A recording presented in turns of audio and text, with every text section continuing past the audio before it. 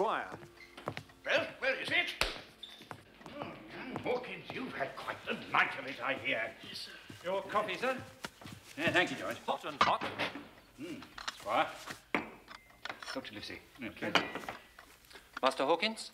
That'll do, Joyce. Uh, milk, sir? Uh, thank you, thank you. Uh, sugar, sir? No, thank you. That'll do, Joyce.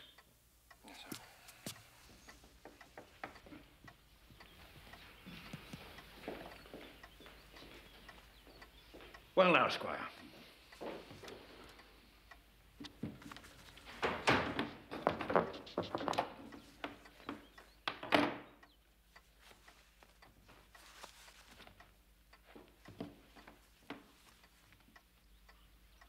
First of all, we'll try the book. Yes.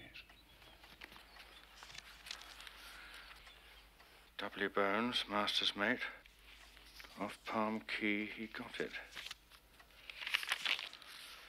Some sort of an account. Bones, his pile. Can't make head nor tail of this. Oh, Livesey, this is as plain as noon to a seafaring man. This is the black-hearted scoundrel's account book. Look here. Now, look here. This is a list of the of the towns sacked or the ships boarded, and here the sums of Bones' share of the loot. Right you are. You see what it is to be a traveller, Jim. Now, the other.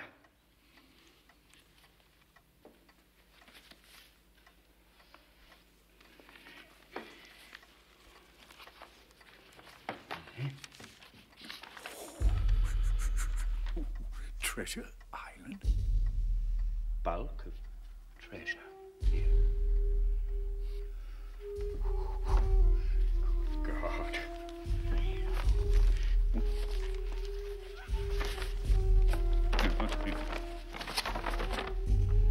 Tall tree, spyglass shoulder, bearing north-northeast by north, skeleton island, east, southeast, and by east. Ten feet. The bar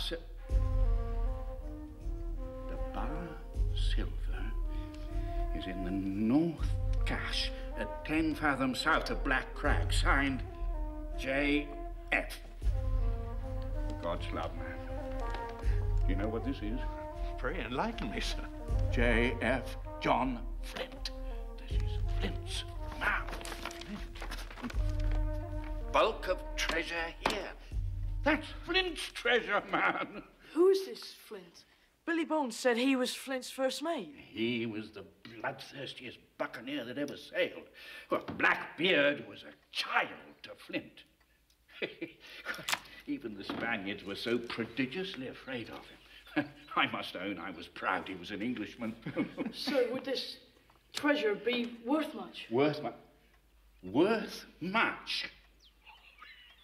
Why, lad, here's the size of it. I shall fit out a ship in, in Bristol Dock within two weeks.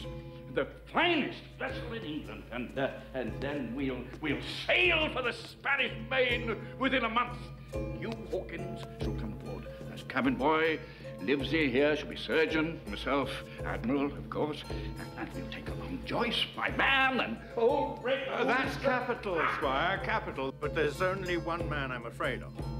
Name the dog. You, sir. For you cannot hold your tongue. As well you know. We aren't the only men to know about this treasure. From first to last, none of us must breathe a word. Well, you're in the right of it, Doctor, as usual. you may depend upon me. I shall be as silent